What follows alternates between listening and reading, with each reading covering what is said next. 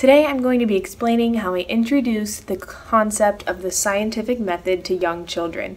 And the scientific method is just a universal method of exploration that uses five basic steps, which are forming a goal or a research question, um, creating a hypothesis, doing an experiment, um, measuring the results of the experiment, and explaining those results.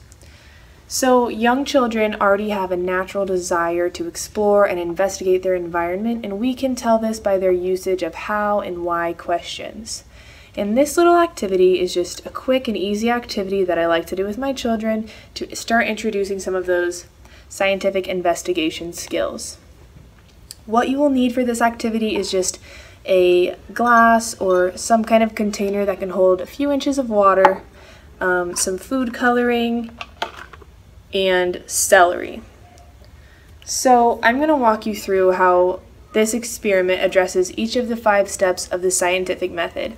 So the first step to form a goal or research question. I do this by asking the children what they already know about celery and what they would like to find out. So my children said they would like to find out how celery gets water and if the celery would change color when put into colored water.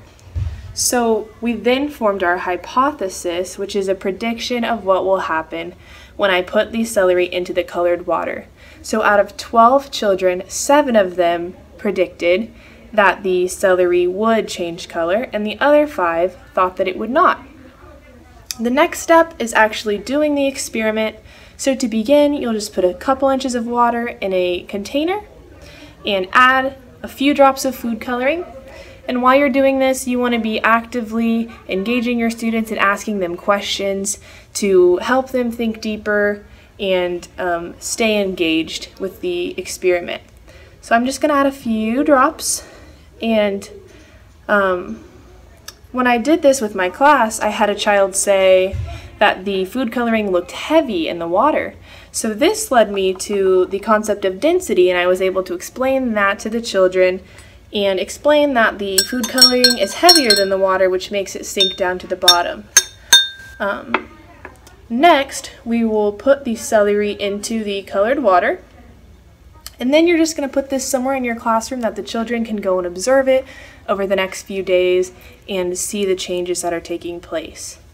Moving on to the results, here you can see I have a um, piece of celery that's been sitting in here actually for a couple weeks now and you can see that it's very dark, dark green, just like the water down here. Um, so the, the um, celery does indeed change color, and the stalks and the leaves do as well to match the color in the container. And um, I explained, helped explain this to my children by cutting open the celery, and we were able to see that the red food coloring actually ran all the way through the tubes of the celery and that led me to the explanation of how the celery gets its water, which was our original research question. So we can see that the celery gets its water by sucking it up through the tubes, as demonstrated by this picture of the food coloring. This is a really quick and simple experiment, and there's many others that you can do as well. You might even have the children draw a before and after picture to help them conceptualize the changes in the process. So here I just had my students draw a picture before and after the um, celery had been sitting in the water and you can see the changes here. Um, just a quick experiment you can do and there's many others you can also do with this method. So this is great to practice observation, exploration, and research skills for young children.